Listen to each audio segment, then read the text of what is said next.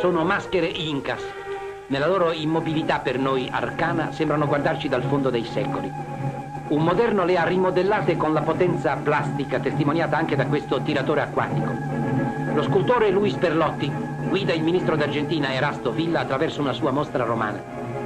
Dall'intenso carattere dei ritratti e delle figure si capisce come il Perlotti dichiari che la sua vera scuola sia stata l'alta pampa delle Ande e quanto giustamente chiami indigenista la propria ispirazione.